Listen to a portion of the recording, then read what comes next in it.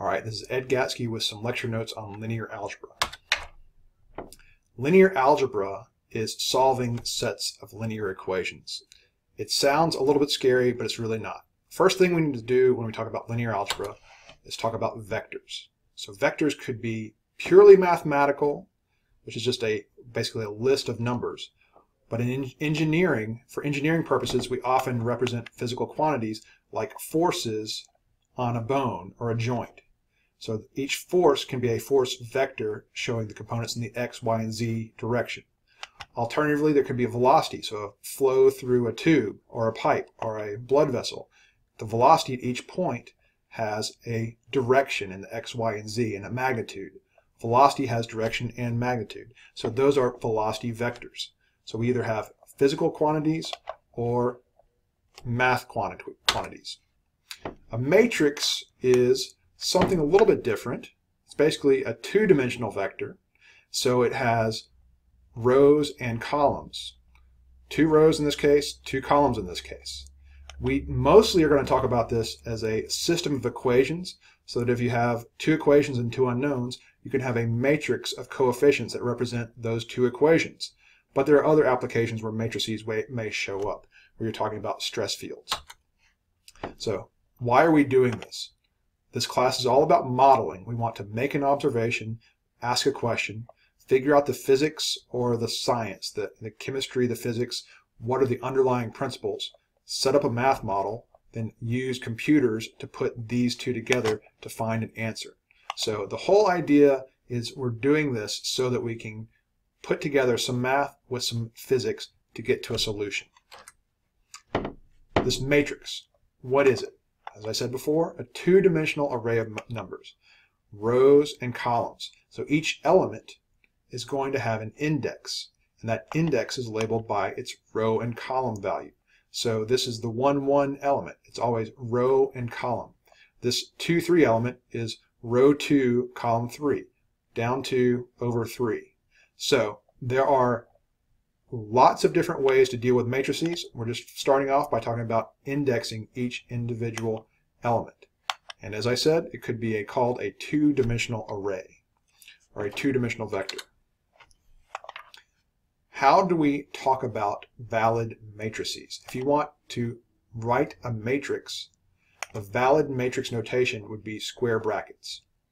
You could use rounded parentheses or curly braces, but you definitely do not use straight up and down lines or these bent lines. These have special mathematical meanings. We'll get to one of these, this one definitely. We're not going to talk about this one.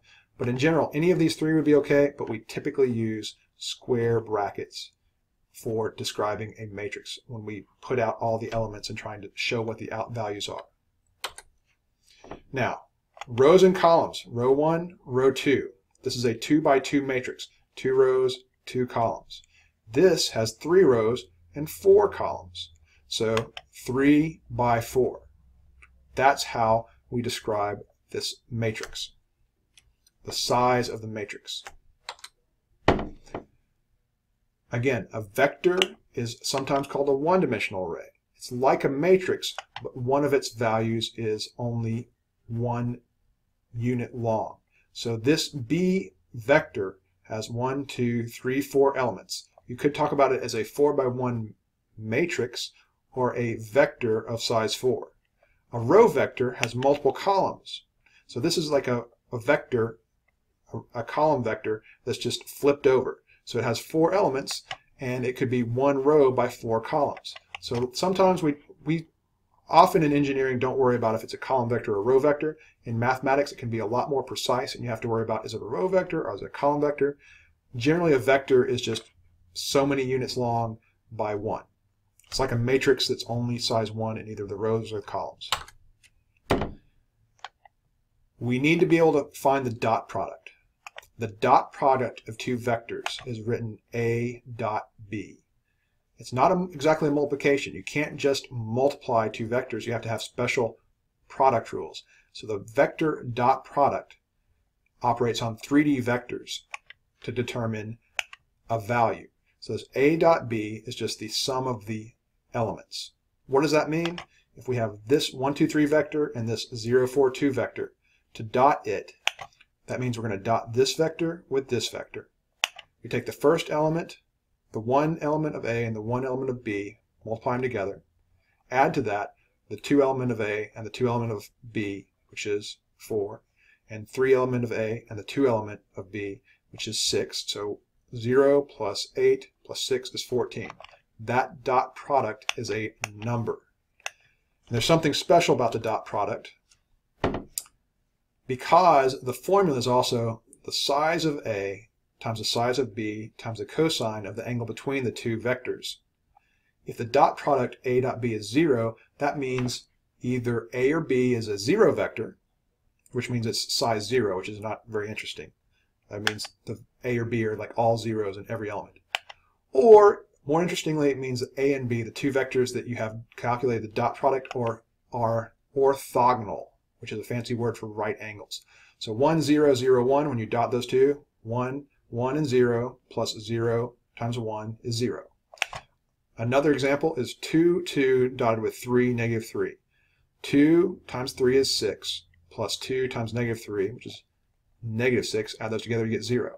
These two vectors, which you may not realize are orthogonal, are going to be right angles to each other. Scalars. Scalars are a special case, which might sometimes people consider this as a zero-dimensional array. It's just a single number. It's like a matrix with one row and one column. Not terribly interesting. But we deal with these different types of values in engineering a lot. So a scalar may be the temperature at a single point. The vector may be the velocity of the object in 3D space as it's moving, the x component, the velocity, the y component, the z component. A matrix may represent the stresses in a 3D object. So there are different types of matrices.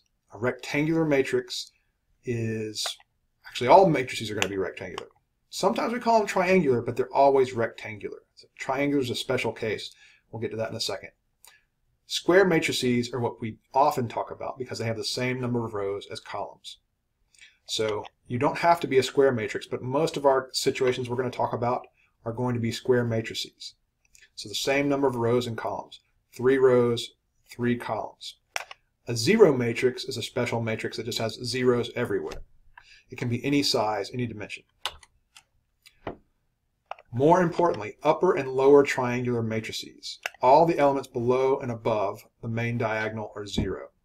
So an upper triangular matrix has values on the, on the diagonal possibly, could be zeros, but has values on the diagonal from top left to bottom right, no values above are values above the diagonal, but zeros below the diagonal. The lower triangular matrix is again top left to bottom right, values below the diagonal, zeros above. So these are both triangular matrices, and it's always top left to bottom right. A diagonal matrix is a triangular matrix that only has values on the diagonal. And again, some of these values could be negative or zero, but this is an example of a diagonal matrix where you have elements along the diagonal. And again, always top left to bottom right. The identity is a special diagonal matrix.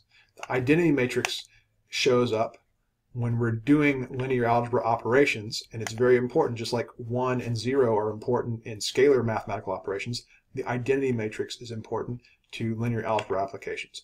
The identity matrix has ones across the diagonal from the top left to the bottom right. Symmetric matrices are a little bit, it just means that everything across the diagonal is the same. So in this case, element 2, 1 and element 1, 2, ones in blue, are both 2. Element 3, 2 and element row 2, column 3 are both 4. The same thing for element 3, 1, row 3, column 1, row 1, column 3, they're all 3's. So that's a symmetric matrix, which sometimes shows up in certain cases. Matrix math, this is what we need to know. You can add and subtract matrices. So a matrix that's the same size can be added to another matrix that's the same size. This is pretty easy. You take the first element, add it to the first element. The 1, 1 element to the 1, 1 element gives you 0. The 1, 2 element plus the 1, 2 element gives you 4. The 1, 3 element plus the 1, 3 element gives you 12. 3 plus 9 is 12. So you just go first element, first element, gives you the first element. Same thing for subtraction. 1 minus a negative 1 is 2. 2 minus 2 is 0. 3 minus 9 is negative 6. So you just do this for every element in each of the matrices. Figure out the simple addition or sum of the two elements. Not too difficult. Scalar multiplication. In this case, the previous case, we had to have the same size matrices. In scalar multiplication, we just have a, a basically a scalar value times a matrix. We scale every element of the matrix by that scalar value. So 6 times 1, 6 times 2, 6 times 3 gives us 6 and 12 and 18 and 30. Same way we can multiply by a half. Every element goes to a half. So 1 goes to 1 half. 1 half times 2 is 1. 1 half times 1 is 1 half. The tricky part is matrix-matrix multiplication. So in this case, the operation is based on connecting two matrices. The way I think about this is finding dot products. So write this formula down. The sum, the Cij element is a sum from k equals 1 to n of the aik element times the bkj element. This is the formula, but I don't typically use this formula. Instead, if we have this matrix, we have a 2 by 3 matrix times a 3 by 2 matrix. How do we actually solve this matrix? Well, what that means is we take this row and make a dot product with this column. So 1 times 1 plus 6 times negative 1 plus negative 2 times 5 is negative 15. Then we, to find the next element, that's the first element, the row 1 of the first matrix dotted with the column 2 of the second matrix. So 1 times 3 plus 6 times 2 plus negative 2 times 4 gives us 7. Then we move down. We consider row 2 for the first matrix and column 1 and do a dot product there. 4 times 1 plus 5 times negative 1 plus 1 times 5 gives us 4. And then finally, we do the last element, this row with this column to get 26. Here's an example showing a 2 by 3 with a 3 by 1 you take this row dotted with this, and this row dotted with 1, 2, 3 to get 19 and 17. Now, notes on matrix multiplication. For a matrix A times matrix B, if A is n rows and p columns, B must be p rows and r columns. The inner dimensions must be equal. For A, the first matrix is rows and columns, so that columns of A must be the same as the rows of B. The product will always be size n by r. So that means whatever A, A times B, the resulting matrix is always going to have n rows and r columns.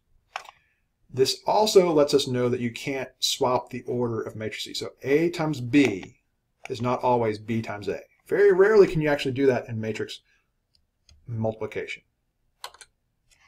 So here's a big example showing a 2 by 2 times a 2 by 5.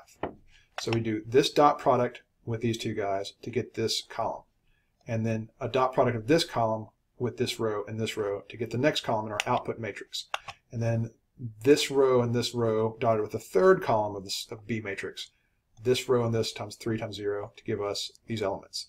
And each one of these are just dot products of a row and a column to get the output matrix. We start off with a 2 by 5, two rows, five columns. We end up with a 2 by 2, and um, we can't do a 2 by 2 times a 2 by 5 ends up giving us a 2 by 5. But a 2 by 5 times a 2 by 2, we can't do this row dotted with this column because this is a, a vector of size 5 and this is a column of size 2. And as I said, a times b does it equal b times a? Usually not. There are some special cases. So if you check the matrix math on this 2 by 2 times this 2 by 2, you get this. If you swap the order, you get something different. The identity matrix is one of those special cases where you just like you can multiply by 1, if you multiply a matrix times the identity or an identity times the matrix, you still get the same result. And the same thing